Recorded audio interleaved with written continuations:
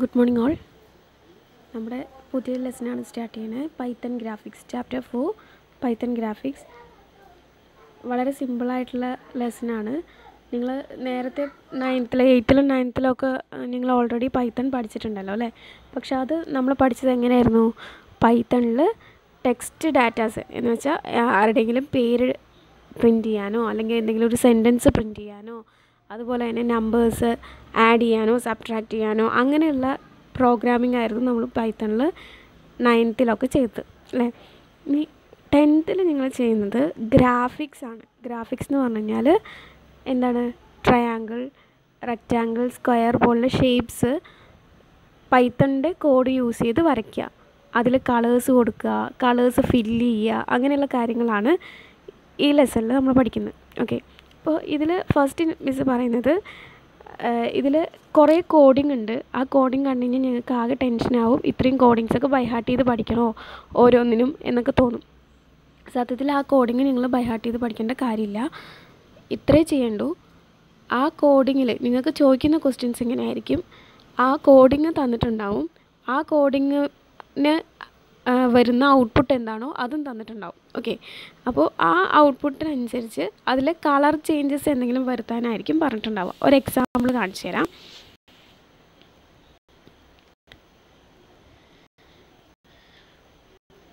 നിങ്ങളുടെ ടെക്സ്റ്റ് ബുക്കിൽ തന്നെ തന്നിട്ടുള്ള ലാസ്റ്റ് കുറേ ആക്ടിവിറ്റീസ് തന്നിട്ടുണ്ട്. അതിൽ ഉള്ള ഒരു ആക്ടിവിറ്റി കാണിച്ചു തരാം മിസ് ഇപ്പോൾ ദേ ഈ യെല്ലോ ഫിഗേഴ്സ് കുറേ സർക്കിൾസ് യൂസ് ചെയ്ത് വരച്ച ഫിഗേഴ്സ് ആണ് കണ്ടോ? അപ്പോൾ ഈ കോഡിങ് തന്നിട്ടുണ്ടാവും കണ്ടോ? പൈത്തന്റെ ഈ കോഡിങ് തന്നിട്ടുണ്ടാവും ഫ്രം തേർട്ടിൽ ഇമ്പോർട്ട് എന്നുള്ള ആ കോഡിങ് നിങ്ങൾക്ക് തന്നിട്ടുണ്ടാവും. അതുപോലെ തന്നെ അതിന്റെ ഔട്ട്പുട്ടായിട്ട് നിങ്ങൾക്ക് തന്നിട്ടുണ്ടാവുക ഈ യെല്ലോ ഫിഗറും ഇതിന്റെ കൂടെ കളർ ചേഞ്ച് കൊടുക്കേണ്ട ഫിഗറും തന്നിട്ടുണ്ടാവും. ഓക്കെ ഇതിപ്പോൾ എക്സാമ്പിളിന് പറയുകയാണെങ്കിൽ ഇവിടെ യെല്ലോ ഫില്ല് ചെയ്ത സ്ഥലത്ത് ചിലപ്പോൾ ഗ്രീനോ അല്ലെങ്കിൽ വേറെ ഏതെങ്കിലും റെഡോ ഏതെങ്കിലും ഗ്രീൻ കളർ ഫില്ല് ചെയ്യാനാണ് പറഞ്ഞിട്ടുള്ളതെന്നുണ്ടെങ്കിൽ എന്ത് ചെയ്യുക? നിങ്ങൾ ഈ യെല്ലോവിന് പകരം ഗ്രീൻ ഫില്ല് ചെയ്ത് വരേണ്ട ഔട്ട്പുട്ടിന് ഈ കോഡിങ്ങിൽ എന്താണോ ചേഞ്ചസ് വരുത്തേണ്ടത് ആ ചേഞ്ചസ് മാത്രം കൊടുത്താൽ മതി. മനസ്സിലായി? അപ്പോൾ ഈ കോഡിങ് നിങ്ങൾക്ക് കോപ്പി പേസ്റ്റ് ചെയ്ത് ആ കോഡിങ്ങിനകത്ത് എന്താണോ യെല്ലോയ്ക്ക് പകരം പകരം ഗ്രീൻ ആവാൻ വേണ്ടിയിട്ട് ഔട്ട്പുട്ടിൽ യെല്ലോയ്ക്ക് പകരം ഗ്രീൻ ആവാൻ വേണ്ടി എന്താണോ ആ കോഡിങ്ങിൽ ചേഞ്ചസ് വരുത്തേണ്ടത് അത് മാത്രമേ ചെയ്യേണ്ടതായിട്ട് വരുള്ളൂ. ഓക്കെ ഇനി ഈ ലെസണിൽ തന്നെ ഈ കോഡിങ് പഠിക്കണ്ട എന്ന് പറഞ്ഞതിനോടൊപ്പം നിങ്ങൾക്ക് വൺ വേർഡ് ക്വസ്റ്റ്യൻസ് ആയിട്ട് ചോദിക്കുമ്പോൾ ഈ ബോക്സ് നിങ്ങളുടെ ടെക്സ്റ്റ് ബുക്കിൽ ഏറ്റവും ലാസ്റ്റ് പേജ് എന്ന് വെച്ചാൽ ഈ ലെസന്റെ ഏറ്റവും ലാസ്റ്റ് പേജായിട്ട് കൊടുത്തിട്ടുള്ളതാണ്. ഈ ബോക്സ് വളരെ ഇമ്പോർട്ടന്റ് ആണ്. നിങ്ങൾക്ക് തിയറി പാട്ട് പഠിച്ച് എഴുതണമെങ്കിലും ഈ ലെസണിൽ നിന്നുള്ള തിയറി പാട്ട് പഠിച്ച് എഴുതണമെങ്കിലും വളരെ ഇമ്പോർട്ടന്റ് ആയിട്ടുള്ള ടേബിളാണിത് ഓക്കെ അപ്പോൾ ഫസ്റ്റ് നമുക്ക് എന്ത് ചെയ്യാം? ആ ടേബിൾ ഒന്ന് നോക്കിയിട്ട് അതിന്റെ കാര്യങ്ങൾ എന്താണെന്ന് മനസ്സിലാക്കിയതിന് ശേഷം ലെസണിലേക്ക് സ്റ്റാർട്ട് ചെയ്യാം. ഓക്കെ എന്നാലേ നിങ്ങൾക്ക് ആ കോഡിങ് പറഞ്ഞു തന്നാൽ ഞാൻ പറയുന്നത് എന്താണെന്ന് നിങ്ങൾക്ക് മനസ്സിലാവുള്ളൂ. ഓക്കെ നോക്കൂ. നിങ്ങൾ കൊടുക്കുന്ന കോഡിങ്ങിൽ ഫോർവേഡ് ഫോർവേഡ് എന്ന് കൊടുത്ത് ബ്രാക്കറ്റ് കൊടുക്കുകയാണെന്നുണ്ടെങ്കിൽ ആ ഇൻസ്ട്രക്ഷൻ യൂസ് ചെയ്യുന്നത് എന്തിനാണ്? Used for moving the turtle to the right നിങ്ങൾ ഇപ്പോൾ ഒരു പെന്ന് നിങ്ങൾ പോയിന്റ് ചെയ്തിട്ടുണ്ട്. ആ പോയിന്റിൽ നിന്ന് എന്ത് ചെയ്യണം? റൈറ്റിലേക്ക് നമ്മൾ കൊടുക്കുന്ന മെഷർമെന്റിനനുസരിച്ച് റൈറ്റിലേക്ക് മൂവ് ചെയ്യാൻ വേണ്ടിയിട്ടാണ് ഫോർവേഡ് എന്നുള്ള ഇൻസ്ട്രക്ഷൻ യൂസ് ചെയ്യുന്നത്. ഓക്കെ ഈ ഫോർവേഡിനകത്ത് ബ്രാക്കറ്റിൽ എക്സാമ്പിളായിട്ട് കൊടുത്തിട്ടുണ്ട്. കണ്ടോ? ഫോർവേഡ് ഫിഫ്റ്റി അല്ലേ or F D fifty F D fifty എന്ന് പറയുന്നത് ഫോർവേഡിനെ ഷോർട്ടാക്കി എഴുതാൻ പറ്റും എന്നാണ് അതിനർത്ഥം. ഓക്കെ ഫോർവേഡ് എന്ന കമാൻഡിനെ ഷോർട്ടാക്കിയിട്ട് എഫ് ഡി എന്ന് എഴുതാം എന്നർത്ഥം.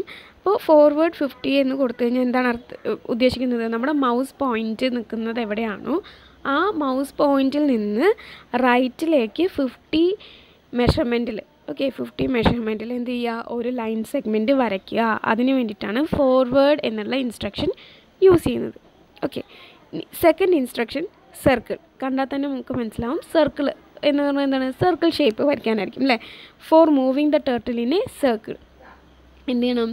ടെർട്ടിൽ ടെർട്ടിൽ എന്ന് പറഞ്ഞാൽ ആ ചെറിയ ബ്ലാക്ക് കളറിൽ കാണുന്ന ട്രയാങ്കിൾ ഷേപ്പുള്ളതാണ് നിങ്ങൾ ചെറിയ ക്ലാസ്സുകളിൽ പഠിച്ചിട്ടുണ്ടാവും. ലോഗോ ഒക്കെ പഠിച്ച സമയത്ത് അല്ലേ ചെറിയ ബ്ലാക്ക് കളറിൽ ട്രയാങ്കിൾ ഷേപ്പിൽ കാണുന്ന അതിനെയാണ് എന്തെന്ന് പറയുന്നത്? ടർട്ടിൽ എന്ന് പറയുന്നത്. അപ്പോൾ ആ ടർട്ടിലിനെ നമ്മൾ സാധാരണ മൗസ് പോയിന്റർ എന്ന് പറയില്ലേ? അതിന് പകരം പറയുന്നതാണ് ടർട്ടിൽ അപ്പോൾ ടർട്ടിലിനെ സർക്കിൾ ഷേപ്പിൽ മൂവ് ചെയ്യിക്കാൻ വേണ്ടിയിട്ടാണ് എന്ത് കമാൻഡ് യൂസ് ചെയ്യുന്നത്?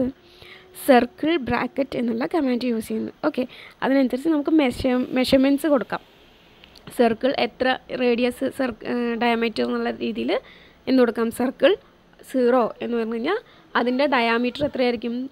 ഹൺഡ്രഡ് ആയിരിക്കും. Okay then dot mark a point on the graphic screen ആ ഗ്രാഫിക് സ്ക്രീനിൽ നമ്മൾ വരച്ചുകൊണ്ടിരിക്കുന്ന ആ സ്ക്രീനിൽ ഒരു ഡോട്ട് ഇടാൻ വേണ്ടിയിട്ട് യൂസ് ചെയ്യുന്നതാണ് ഡോട്ട് എന്നുള്ള കമാൻഡ് ഓക്കെ ഇനി അത് എക്സാമ്പിളായിട്ട് കൊടുത്തിട്ടുള്ളത് നോക്കൂ. ഡോട്ട് ട്വന്റി ബ്ലൂ എന്ന് വെച്ചാൽ എന്താണ്? ആ കൊടുത്തിട്ടുള്ള ഡോട്ടിന് ട്വന്റി ആയിരിക്കും മെഷർമെന്റ് ഉണ്ടാവുക. അതുപോലെ ആ ഡോട്ടിന്റെ കളർ എന്ന് പറയുന്നത് ബ്ലൂ ആയിരിക്കും.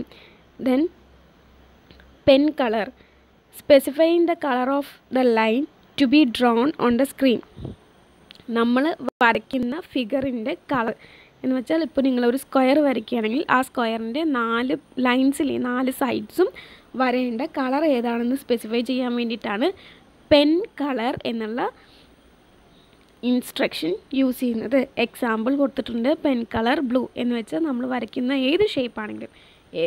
ഏത് ഗ്രാഫിക് ആണെങ്കിലും ആ ഗ്രാഫിക്സ് ഏതിൽ വരിക? ബ്ലൂ കളറിൽ വരും. Okay